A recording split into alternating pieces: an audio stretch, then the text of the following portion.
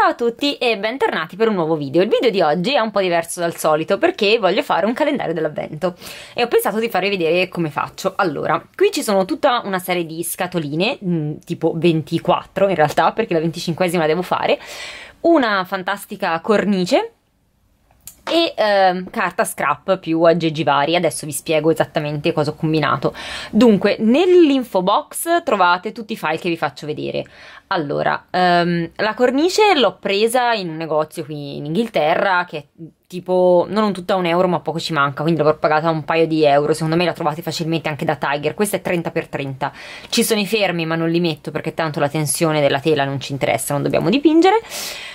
E ehm, le scatoline, allora, le potete comprare eh, come scatole di fiammiferi e vi cerco il link e ve lo metto nell'info box, altrimenti trovate due serie di file nel, eh, nell'info box per le scatoline, quindi una con la scatolina singola e una invece con più scatoline insieme.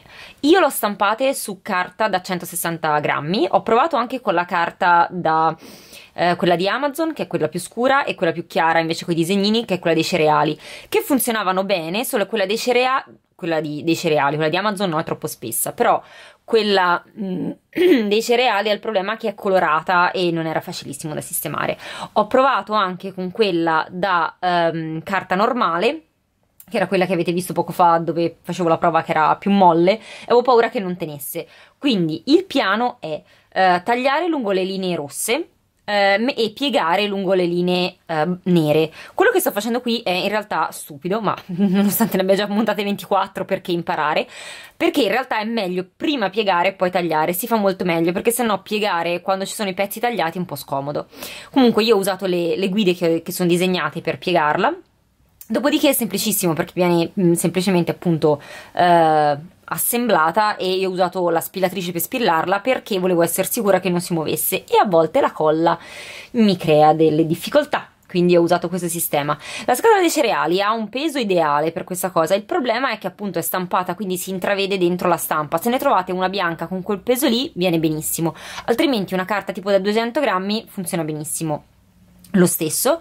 E ehm, appunto i fogli quelli con 6 sopra sono stati pensati per se volete stamparla su una carta un po' più spessa. Se invece volete ehm, tagliarle da altre carte di recupero usate quello con una scatolina sola che vi fa da carta modello. Trovate anche questo file nell'info box e qui ci sono già gli interni delle scatoline. Sono già disegnati orientati sia in verticale che in orizzontale perché le scatoline saranno messe in entrambi i modi altrimenti il disegno veniva brutto. Quindi dovete semplicemente metterle dentro. Io non le incollo perché confido nel fatto che non si muovano e, e, le appoggio semplicemente dentro. Altri file che trovate sono due con scritto boxes e back. Il primo che, che prendo in mano è boxes, praticamente li ho già divisi su, eh, un, sarebbe un 25x25 che è lo spazio libero interno alla cornice. Però ho pensato che nessuno avesse una stampante a 3 o quasi a casa e quindi le ho già preparate su 2 a 4. Quindi il piano è mettere quello sotto, poi tagliare il foglio sopra usando l'altra guida e, e semplicemente poi incollarlo e avremo la, il nostro calendario dell'avvento. Quindi Uh, passiamo alla fase di uh, assemblaggio, quindi le, um, praticamente per sistemare il tutto il foglio boxes viene, i due fogli vengono allineati in maniera che siano precisissimi, attenzione, sono un macello, quindi stampateli al 100% della, della dimensione senza bordi, uh, dopodiché mi limito semplicemente a scocciarli in modo che stiano fermi e li ritaglio per cercare appunto di, di farli diventare 25 anche in verticale perché in lunghezza saranno 29,7 come un, un foglio a 4 ho fatto un po' di prove. Scusate la voce va e viene. Per controllare appunto che fosse centrato e tutto. E poi ho messo anche un pezzetto di scotch dietro perché almeno non si muoveva il, il pezzettino dietro di carta quindi una volta sistemato e mh, mm, facciamo una prova con le scatoline giusto per vedere che tutto ci stia, di, eh, sì, e stare ci sta, perché voi come sapete io mh, mm, le idee le ho, ma poi le provo in diretta con voi, quindi io faccio tutta questa progettazione senza averlo mai fatto prima, quindi ci saranno dei problemucci che vedremo in seguito, eh, la me del passato non li sapeva, la me del futuro che registra il voice over sì, quindi adesso poi li vedremo, però ehm, si è risolta bene, vi garantisco che si è risolta bene. Quindi per attaccare il foglio dentro io sto usando del, bio, del biadesivo perché ehm, avevo paura che la colla eh, mi ammollasse il foglio, siccome non era, non è, è foglio di carta normale da 80 grammi, non ero molto sicura che avrebbe retto, quindi sto usando abbondante biadesivo e ho usato anche la pieghetta eh, per, che è quella che ho usato per, per piegare le scatoline anche per stendere bene sulla tela perché la tela è una superficie un po', un po' irregolare. La pieghetta se non ce l'avete è sostituibile sia per piegare sia per fare questo lavoro tranquillamente con un righello, un, il dietro di un paio di forbici, insomma qualunque cosa che non tagli sia piatta e, e liscia. Quindi poi lo mettete dentro cercando di centrarlo il più possibile. Io non ho fatto un bellissimo lavoro, ma il biadesivo funzionava molto bene, quindi è rimasto attaccato. Non è perfettamente centrato di lato, quindi saranno, mh, mm, ci sarà poi da stare un po' attenti più avanti mh, mm, sulle centrature. Però Fin qui sembra funzionare il tutto, quindi adesso prendo la colla, è una colla, questa è una colla per legno, una colla vinilica, come va benissimo il Vinavil, eh, o qualunque altra colla voi abbiate. Se avessi avuto del biadesivo molto molto forte di quello roll-on, probabilmente avrei usato quello, non ce l'ho nel dubbio, ho usato la colla. E mm, a questo punto le ho già attaccate tutte, tanto non aveva senso farvi vedere tutta la colla, e questa era l'ultima quindi adesso si può procedere a eh, mettere dentro, eh, facciamo mm, intanto, ah, scusate, saltiamo un passaggio. Prima di tutto metteteci dei pesi sopra e fate asciugare la carta così, in modo tale che le scatoline si asciughino in posizione. Ho aggiunto tre fermettini che vedete sotto di cartoncino messi arrotolati a caso, giusto per essere assolutamente sicura che le scatoline, quelle più in basso, che non avevano niente che le sostenesse sotto, non cedessero in qualche modo. È proprio carton, cartone di recupero. Le, adesso ho tagliato tutti gli interni e li sto semplicemente mettendo, come vedete quelli orizzontali in quelle orizzontali e quelli tagliati, già disegnati per essere tagliati in verticale in verticale e effettivamente messi dentro stanno benissimo, non si piegano, non hanno problemi, ho fatto anche il test di caduta, vedete, non cade niente, quindi funziona benissimo. Passando al davanti ho preso il foglio uh, back, ho attaccato esattamente come ho fatto prima i fogli insieme e poi li ho attaccati sul foglio. Per attaccarli sul foglio in maniera centrata siccome il foglio è 30 ho misurato la distanza fra il lato e l'esterno della cornice come vi faccio vedere qui col dito da tutti e due lati. E da una parte è 3,2 dall'altra è 2,6 quindi evidentemente non è centrato. Ehm, ho riportato le stesse misure sul foglio e qui io ho fatto un grosso errore perché avrei dovuto invertirle le misure. Nel senso che siccome il foglio poi viene ribaltato, eh, e infatti il, lo schema back è lo stesso del, del, del, di quello scritto boxes, però è specchiato, quindi è l'opposto, in modo tale che quando appunto il foglio viene davanti, quello di carta da scrap, viene girato, le scatoline siano centrate, avrei dovuto fare la stessa cosa con le misure che ho preso e invece non l'ho fatto e quindi quel foglio lì poi lo vedrete che l'ho buttato via ed è stato sostituito da un altro perché questo è quello che succede quando uno pensa a metà le cose e non le ha mai fatte prima. Detto questo però il punto è semplicemente adesso prendere e tagliare lungo i profili ovviamente su tre lati quindi come fa proprio facendo delle finestrelle che è quello che ho fatto qui. Quindi taglierino e um, righello. Righello io di solito uso quello di metallo per queste cose quando devo tagliare che però era giù perché stiamo facendo il presepe, fai da te, quindi altri lavori in corso. Eh, questo qui è un righello vecchio che uso solo per questa cosa, perché se usate un, un righello buono, ve lo dico, usare il taglierino ve lo, mm, ve lo danneggia, vi graffia la punta, sicura, cioè il, il, il, margine sicuramente, quindi poi non avrete più un righello preciso. Quindi io ne tengo uno brutto che è anche spezzato, come potete vedere, giusto per questo tipo di lavori. Qui io ero convinta di aver preso bene le misure, perché ho provato a tirarlo su mi sembrava che fosse centrato rispetto al dietro Um, invece no, mi sono resa conto che la cosa era miseramente fallita. Quindi quello che ho fatto è stato appunto uh, rendermi conto del problema se voi vi, vi, chiedete come mai le mie mani si muovono in questa maniera, come se stessi parlando nel video, è perché io tutta una serie di cose le avevo girate già parlando e spiegandovi. Poi, quando sono arrivata a montare, cioè adesso, mi sono resa conto che questo video sarebbe durato tantissimo e quindi ho deciso che avrei rifatto questa cosa in maniera più intelligente quindi semplicemente raccontandovi quello che, che, avevo fatto a posteriori. Quindi se vedete le mani che si muovono in maniera totalmente indipendente dal video il punto è quello. Però qui era il punto dove spiegavo la cavolata che avevo fatto. E quindi come ho rimediato quindi avevo ritagliato di nuovo un altro foglio. Ehm, non avevo più un foglio tra l'altro con quel disegno lì quindi ne ho preso un altro è una collezione, se vi chiedete la carta da scrapbooking che ho usato, è una collezione vecchissima di Natale ehm, che ho rimediato non so neanche più io quanti anni fa, ve la cerco, se, della Docraft mi sembra. eh, se, se, trovo, insomma, vi metto un link sotto, ma non so se la trovo, ma se no, insomma, un'altra carta qualunque va bene. Quindi, dopodiché, questa volta era venuto giusto, ho fatto le prove. Um, qui, infatti, ho controllato una volta tagliati tutti e sì, sono giusti adesso. Quindi rimuovo lo scotch e il frontale è fatto, pronto, mm, ce l'abbiamo. Quello che c'è da fare adesso ovviamente è decorare il frontale e per decorare il frontale l'ho fatto off camera perché ci ho messo un sacco a cercare pezzettini vari nella scatola delle robe di Natale e tutto il resto.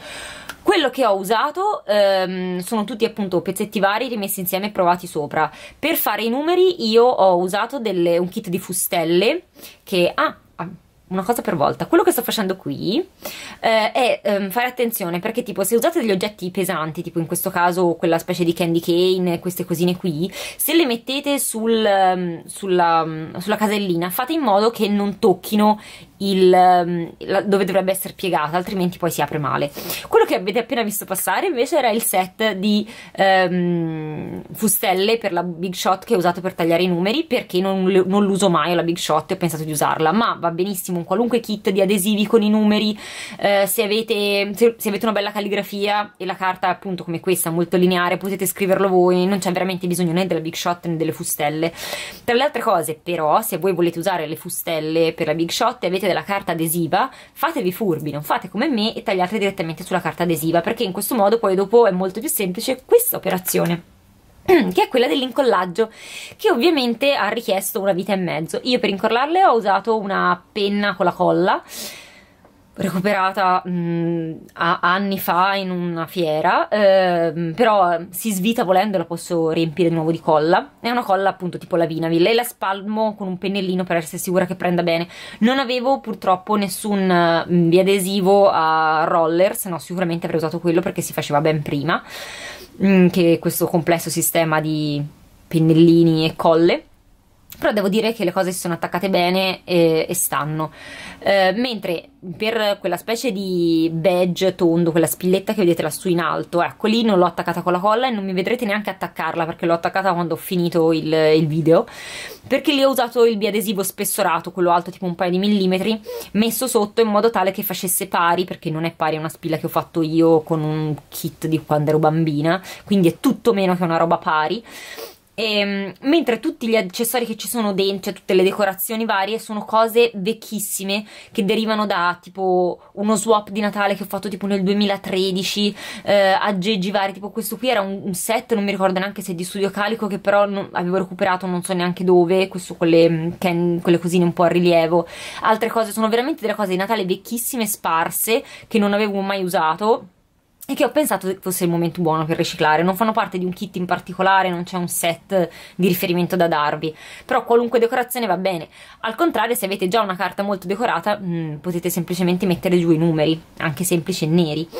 Adesso è il momento di riempirle. Per riempirle io eh, userò questi cioccolatini che avete visto, che erano stati comprati in tempi non sospetti, pensando di mh, mm, venissero i bambini per Halloween a dargli le caramelle. Non è successo e quindi io userò quelle in realtà perché appunto c'è anche Alessio e lui di quello che vi faccio adesso non gli può fregare di meno. Però per voi vi faccio vedere come riempirlo con cose di cancelleria. Scusate la scatola oscena dei cereali, ma um, c'è un sacco di DIY in corso in questa casa. Um, dentro ci ho messo un po' di tutto, cose raccattate ovviamente su e giù per l'ufficio, sì l'ufficio, lo studio, eh, per farvi vedere che anche se le scatoline sono piccoline perché sono 3 cm e mezzo per 5 l'una c'entrano un sacco di cose quindi anche la, questo qui è un tampone per i timbri c'è entrato ho fatto il test adesso quindi poi ci sono uh, post-it mm, fermacampioni vari questi qui li ho fatti io vi lascio il link del video dove vi faccio vedere come farli anche gli adesivini altro link altro video dove li abbiamo fatti insieme uh, gommine da cancellare um, segnalibro uh, graffette simpatiche, insomma ho raccattato un po' di cose varie ed eventuali dall'ufficio, questo è un porta eh, a rotola cavi del, delle cuffiette, quindi ci sono veramente tutta una serie di cose varie ed eventuali, inclusi i personaggi della Lego, eccetera, eccetera. Quindi adesso faccio vedere come lo riempio per farvi vedere che effettivamente c'entra un sacco di roba carina. Um, le graffette, queste qui le ho fatte io con graffetta, uh, ciondolino di AliExpress e colla a caldo, facilissimo. Questo invece l'avevo fatto in un altro video che vi lascio qui anche quello se lo volete vedere, su come fare i timbri. Ehm, e poi appunto biscotti, decorazioni varie, qui sto usando un alberello di Natale che è carinissimo, ehm, il segnalibro, gli omini che rappresentano me e Alessio fatti al Lego Store. Questo c'è entrato, preciso preciso. Questi sono washi tape di Tiger, quindi c'entrano anche loro senza problemi. I suddetti eh, aggeggini fatti con il recupero delle scatole dei fazzoletti, eh, che era stato estremamente divertente gli adesivi che abbiamo fatto insieme giusto settimana scorsa, o che perlomeno nella mia testa abbiamo fatto insieme settimana scorsa, il tampone, post-it, mm, graffette varie, altre graffette varie in tutte le forme e fogge. Questo qui, voi se prendete una nappina e ci attaccate dietro un gancino di quelli da tipo da braccialetto, lo fate da soli facilmente, si attacca alle agende, è molto carino, o al cellulare, dove preferite. Um, uh, fantastici unicorni utilissimi anche queste le ho fatte con lo stesso principio queste graffette qui quella non c'è entrata chiaramente era enorme Um, queste sono sempre delle gomme da cancellare di quelle colorate. Questi due portachiavi qui con scritto Home and Love con la nappina li ho presi da Tiger una vita fa. Quindi questo è quello che potete metterci per farlo a tema cancelleria ed è un regalo carinissimo da fare alle amiche, se avete dei bambini che amano la cancelleria, eh, potete ovviamente sostituire alcune cose dentro con dei bigliettini con delle attività da fare, con dei, delle caramelle, dei cioccolatini, quello che vi pare. Io per lo scopo del, per cui lo useremo noi, cioè mangiarlo, ci ho messo i cioccolatini. Lo so, non sono più incartati, non sono più incartati perché fisicamente era impossibile eh, che si chiudesse con le carte, prendiamo un sacco di posto, ma tanto lo mangiamo noi, non dovremmo morire, eh, lo mangiamo nel giro di un paio di settimane, sta giù in salotto è freddo, non c'è problema. Quindi adesso colla vinilica abbondante lungo i bordi, nel mio caso attenti ai cioccolatini e nel vostro attenti a non incollare il resto, quindi la spalmate molto molto molto bene, cercando di coprire la maggior parte della superficie possibile, di metterla in maniera pari, abbondante, ma senza che sia troppa in un punto solo, se no vi fa le bolle, vi gonfia, vi ammolla la carta non va bene, quindi spalmatela bene bene. Dopodiché eh, una volta è tutta spalmata ci piazzate sopra il foglio con estrema precisione e eh, vi consiglio spassionatamente di metterci di nuovo dei pesi e di lasciarlo asciugare tutta la notte in modo tale che poi sia effettivamente a posto perché se no ehm, rischia che, rischiate che si asciughi in maniera non precisa. Quindi eh, quello che ho fatto io è stato appunto metterlo poi tutta la notte a asciugare. Ho testato, stava su, non cadeva niente. Perché non cada niente è importante che la cornice della vostra mh, tela sia alta come le scatoline scatoline, mi raccomando, interne, quindi mi raccomando quello fateci caso. La mia aveva un centimetro e mezzo, le mie scatoline sono un centimetro e mezzo. Quindi adesso guardate com'è bello, non è bellissimo, non ho ancora allestito il camino per Natale, però intanto lui l'ho messo lì e, ed è bellissimo. Io spero che questo video vi sia piaciuto, di avervi fatto vedere una maniera semplice, ci ho messo circa un'ora e mezza per far tutto, eh, per fare un calendario dell'avvento eh, che, che, potete fare facilmente a casa con quello che avete senza dover diventare matti e, o comunque con cose che si ordinano su Amazon a pochissimo. E spero che vi sia piaciuto fatemelo sapere nei commenti se lo fate ditemelo e ci vediamo presto. Ciao